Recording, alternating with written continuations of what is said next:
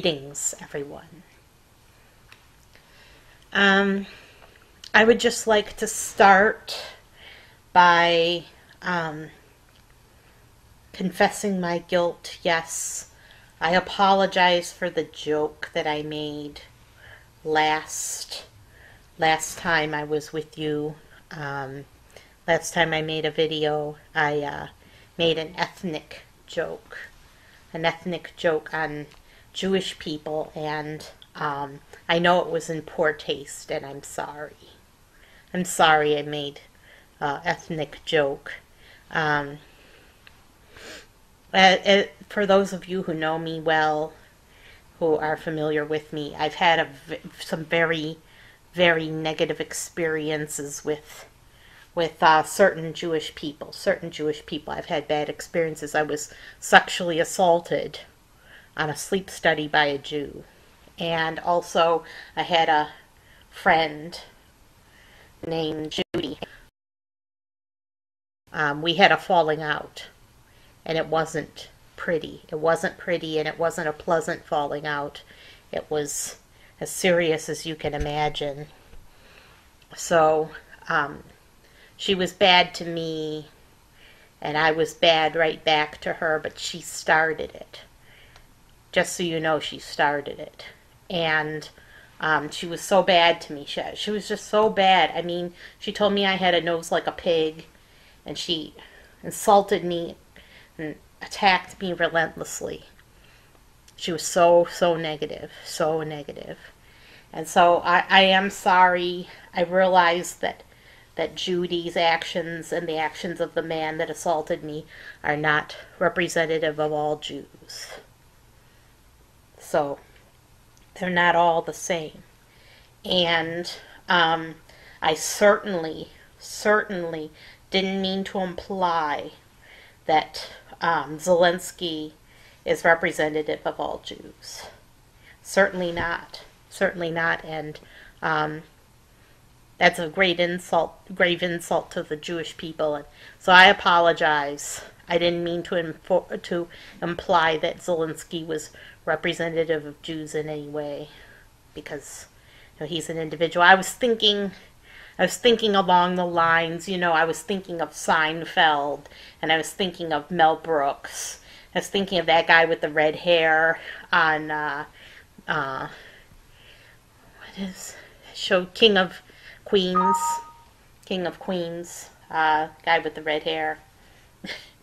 and how they wave their hands in the air like this and get all excited and and uh, it's it's a shtick. It's a it's an old shtick. and I and I just made fun of that. So I am sorry. I didn't mean to imply that Zelensky was representative of the Jews in any way. So I, I do apologize. Now getting to the topic of the the day, topic of the day which is uh, Will Smith. Will Smith at the Oscars slapping Chris Rock across the face. Um, I would just like to to put in my two cents on this subject. Um, first of all, it was a distraction, a major, major distraction. Was it what was the distraction for? Hmm, hmm. Oh, what are they trying to distract us for? Oh yeah, they're trying to distract us from what's happening in the Ukraine. They don't want us focusing on the Ukraine. They want us focusing on Will Smith slapping Chris Rock. So it was a weapon of mass distraction. And it doesn't really matter anyway in the grand scheme of things. But it it was it was a weapon of mass distraction. This is what the elites do. Okay, this is what the elites do. They come up with these ideas to distract the public. It's called bread and circuses. It's as old as the Roman Empire. And what they do, what these elites do, is they provide distractions. Distractions and entertainment content and the news is considered entertainment too. And what it's suppo- supposed to be designed to do is keep you from looking at what the elites are doing at the same time. So the elites planned this invasion of the Ukraine and they're trying to use it to possibly start World War III. Maybe that's their plot.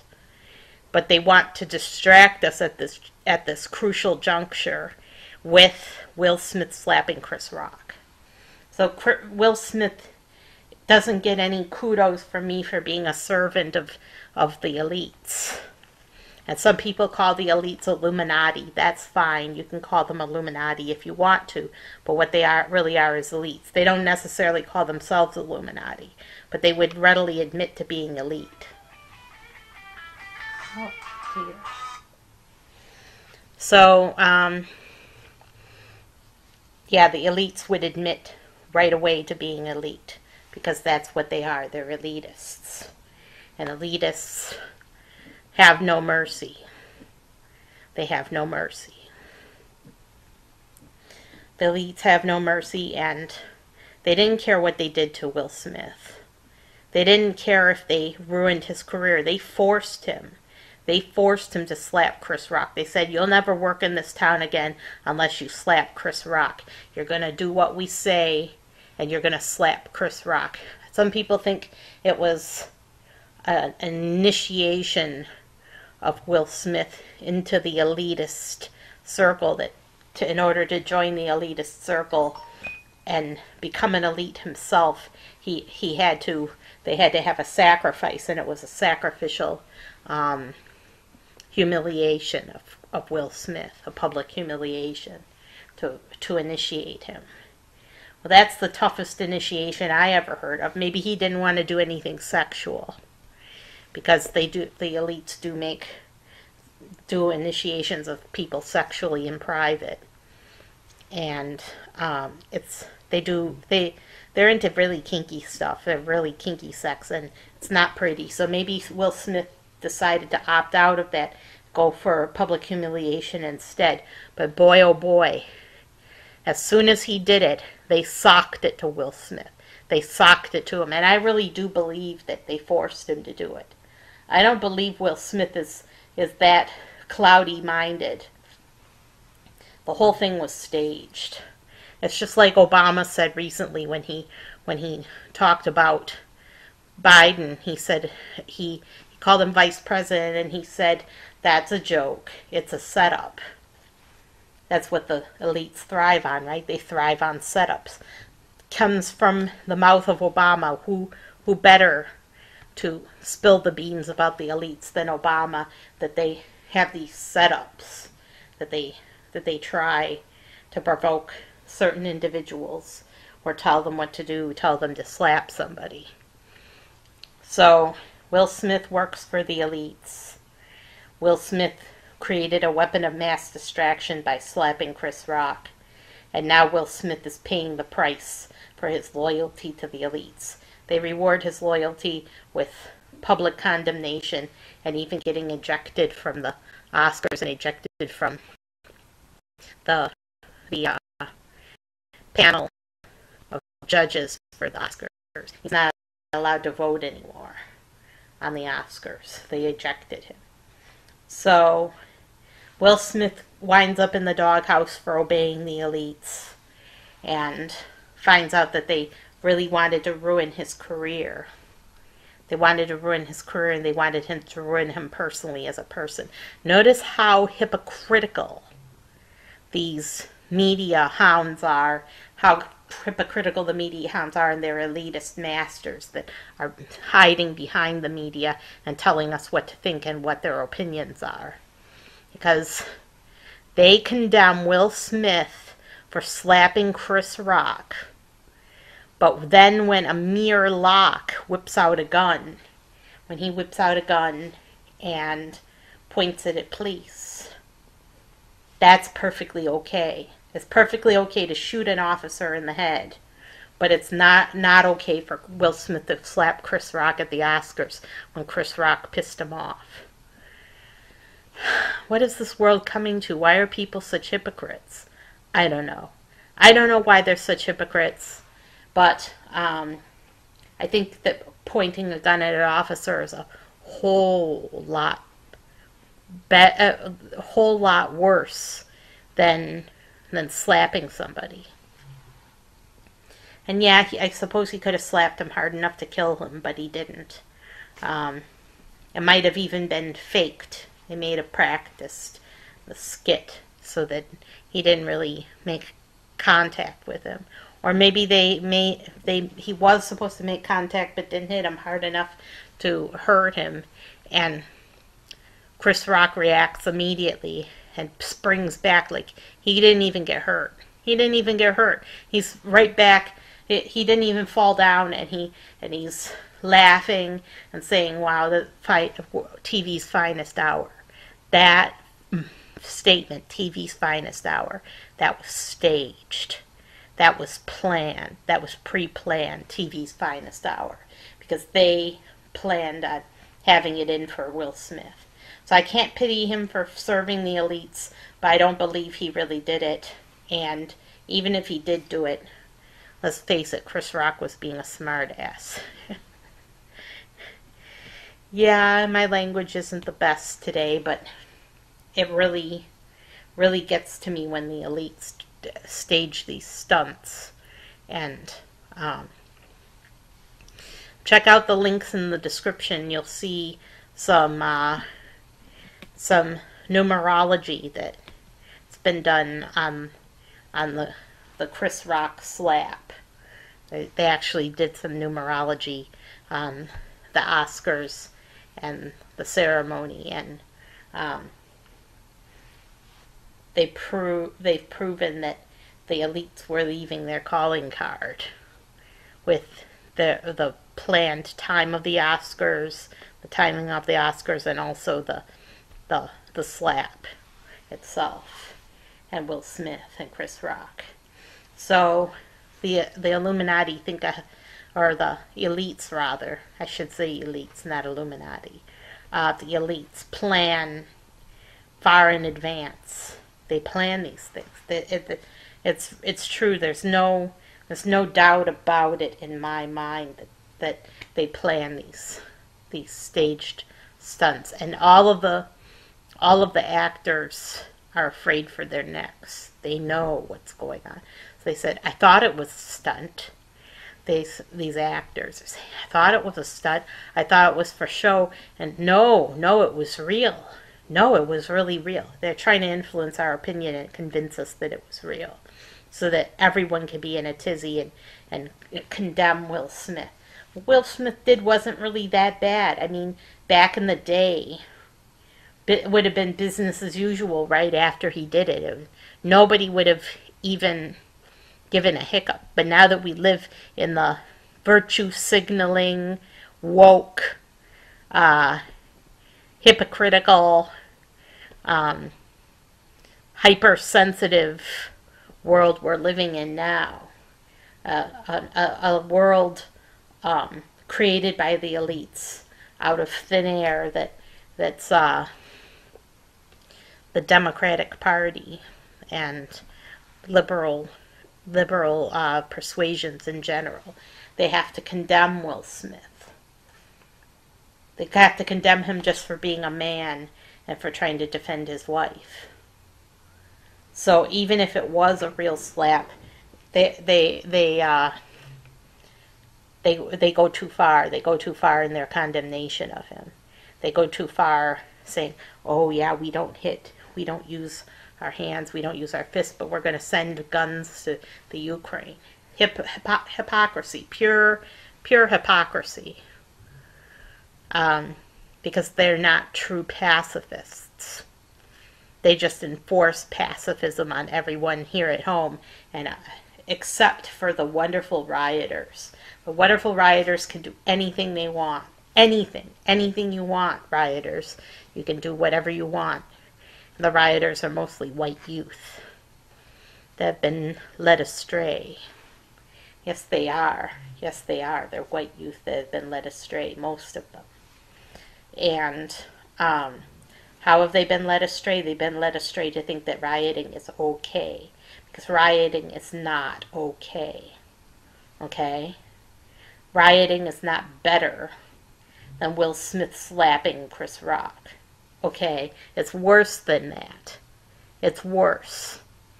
So if you're going to uh, take the side of the rioters, um, I have little sympathy for you. But um, on to Ukraine. Um, it's terrible what's happening in Ukraine, okay? I get that. And I wasn't making fun of the situation with the Ukrainians either. Because I want the war in Ukraine to stop as much as anyone. But I can see realistically that you're not going to get Russia to stop by making zero concessions to Russia. You have to make concessions to Russia. You have to be willing to bend like the willow tree, or else Russia is going to level Ukraine. And there's nobody in this world that can stop it. There's nobody who can stop the destruction. There's nobody who can stop the loss of life. There's nobody who can stop the genocide of the Ukrainian people unless they give in to Russia's demands. Because Russia is a superpower. And Russia has lots and lots and lots of nuclear weapons, okay? And other kinds of weapons too. And Russia is willing to use these weapons on the whole world. So we have to we have to rethink our strategy and we have to rethink our approach. We really, really have to rethink our approach to Russia. We have to be careful what we say, what we do, how we respond to this. We basically we have to keep Russia and Vladimir Putin happy. It's not right and it's not fair, but it's the situation the world is in now. Yeah, that's the situation the world is in now. We're riding on the edge of a knife between uh, nuclear winter and and safety. And it could go either way, depending on how we respond to Ukraine's pleas. If if Ukraine gave in to all of Vladimir Putin's demands, then it is possible that the killing and the shelling and the murder could end tomorrow. But first, Zelensky has to get out. He has to get out of Ukraine. Zelensky, you can go anywhere in the world you want. You can go to the Caribbean and be floating around on a pool floaty. I don't care. You could be floating on a pool floating tomorrow. Get out of Ukraine. Get out of Ukraine now. Okay? The the presidency is over. Your people are devastated, completely devastated by this war. And and you are at the heart of all of it. It all revolves around you. If you resign today, tomorrow you could be in the Caribbean enjoying a, a soda or whatever it is you like to drink, maybe a vodka, and leave the people of Ukraine alone. Everyone can go back to their homes. Everyone can go back to their homes if they don't want to get, go back to their homes. The men can be allowed to leave and join their wives and children abroad.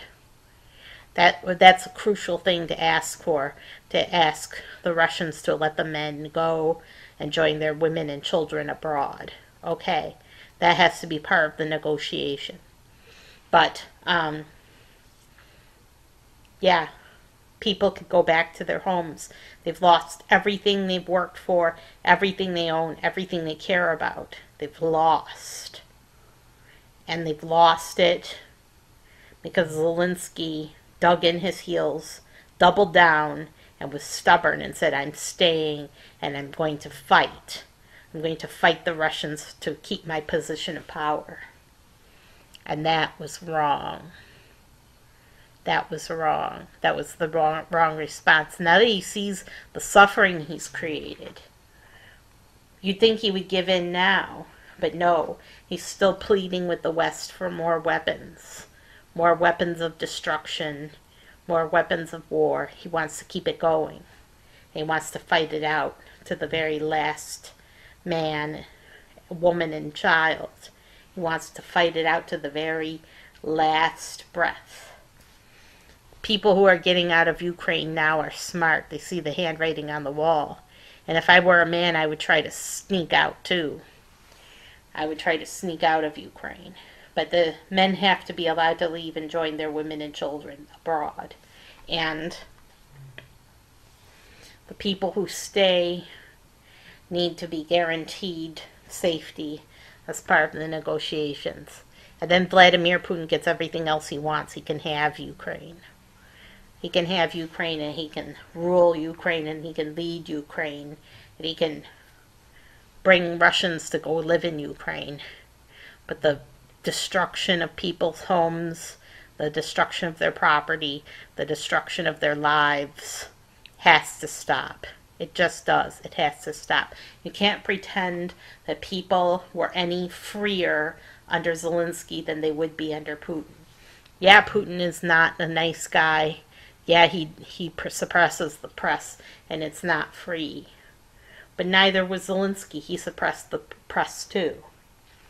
It wasn't free under Zelensky either. So you can't say one is better than the other. Um, if people want to go back to their homes, they should have the option. If they want to leave the country, that should be their option too. That would be a fair and just ending. So I'm just calling on Zelensky, asking him to leave so that this war can end. Because guess what, people? It, it's cold, hard reality. It's not going to end. It's not going to end unless Zelensky leaves. Okay? Unless he leaves the country, his the suffering of his people will continue for his sake, so he can stay in power, so he can stay in a position of power. But he he'll be ru- ruling over a ruin. His country will be a ruin, and eventually Zelensky will be blamed and then he'll be he'll be dead anyway. So he should leave now. He should see the handwriting on the wall and he should leave now. The Ukrainian people are fighting for their lives. That's why they're fighting, because of their lives. If they knew that there was another option, I think they would take it. I think if they knew that Putin just wants Ukraine to rule over Ukraine and he wants to claim the territory for for add it to his empire. Um, they wouldn't be happy, but I think they would take that over the destruction. I really do. I really think, and people who wouldn't take it can move to the West, where undoubtedly the media is free and there's freedom of speech. So that's it. Um, I want the killing to stop. I want the bombing to stop. And I want the West to be safe. I want it to, to remain a safe haven that people, uh, oppressed people around the world can escape to. I don't want the West to be a smoldering ruin. Okay, I don't want the war to come here. That's what I don't want. Not uh, hurting or or or uh, um, dismissing the plight of the Ukrainian people, but we have to prevent a world war at all costs. And that's that's uh, my two cents on on uh, this subject of Ukraine. And Will Smith, it's just a distraction. It's just a distraction from the elites. They're so good at this. They're so good at faking faking these things and uh, they don't deserve our attention. So don't pay any attention to that. It's just a distraction. And I'll see you next time.